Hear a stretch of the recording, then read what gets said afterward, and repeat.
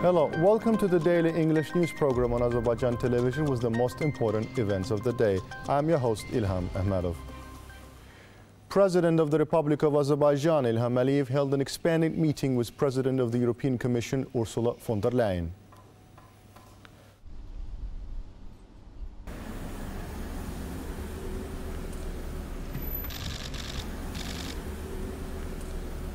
President Ilham Aliyev welcomed President of the European Commission, Ursula von der Leyen.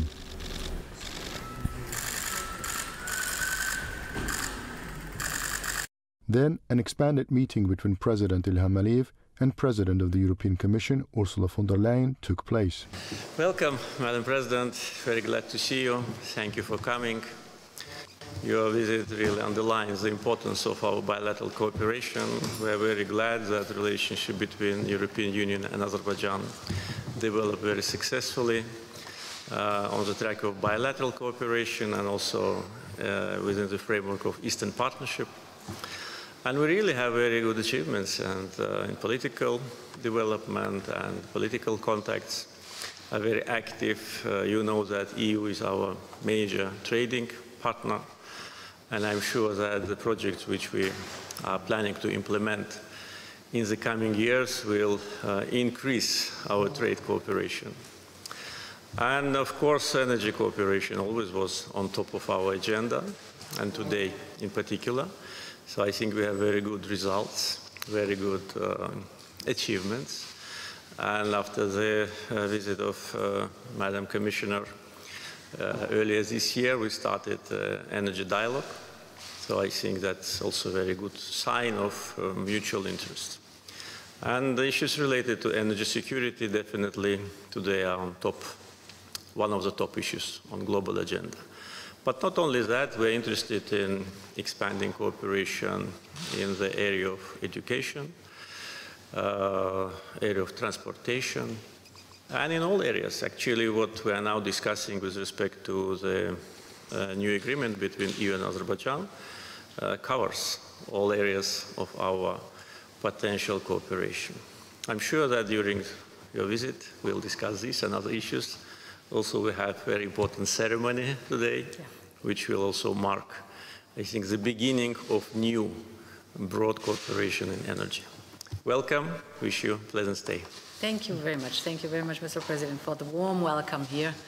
And uh, indeed, as you said, we have a long-standing partnership, the Eastern Partnership, but specifically with Azerbaijan, also uh, an excellent relationship that we want to deepen now.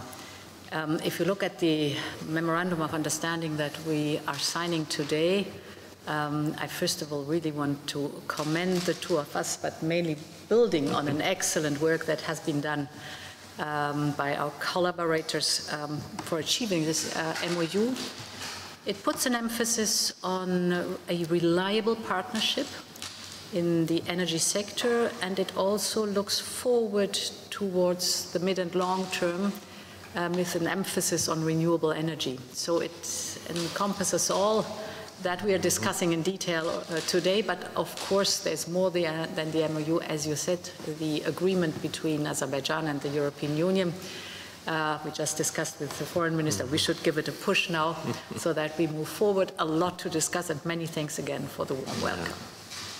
Thank you.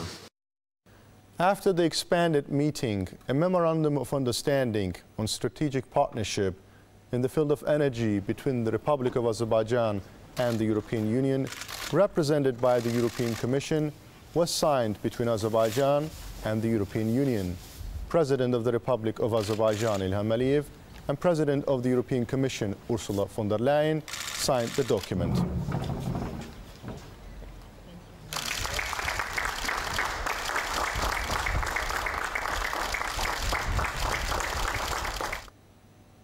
Then President Ilham Aliyev and President of the European Commission Ursula von der Leyen made press statements.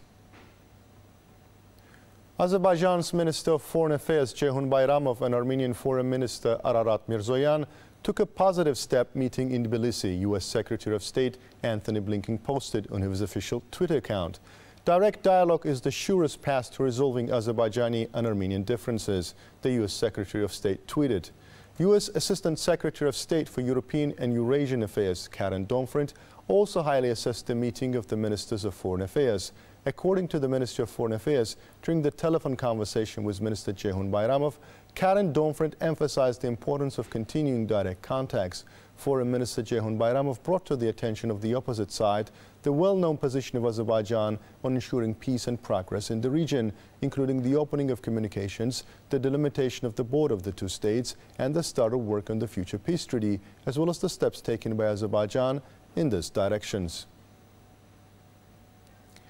In accordance with the combat training plan for 2022, the rocket and artillery units of the land forces fulfilled firing tasks reported Azerbaijan's Ministry of Defense.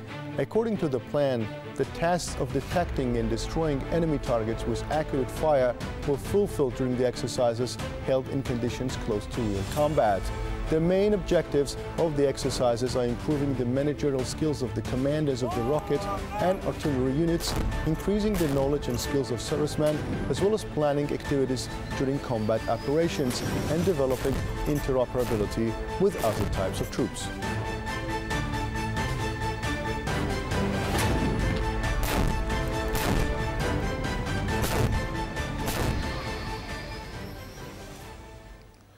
The Mine Action Agency cleared from mines and unexploded ordnances about 70,438 hectares of lands in 24 years. 845,180 mines and unexploded ordnances were detected. This is stated in the information released in connection with the 24-year activity of the agency. Citizens are called to be responsible and alert while in the territories liberated from the occupation. Baku Summer Energy School has been launched at Ada University. 43 participants from 13 countries participated in the program organized in partnership with the state oil company. Among those involved in the summer school are professionals from energy companies, representatives of embassies and international organizations, civil servants, as well as scholars, journalists, and graduate students investigating energy and environmental problems. The main goal of the project is to convey the innovations in the region and our country in the field of energy to local and foreign experts. The participants of the summer school will also visit the smart village built in Zangilan. That was all for the day. Thank you for being with us. Goodbye.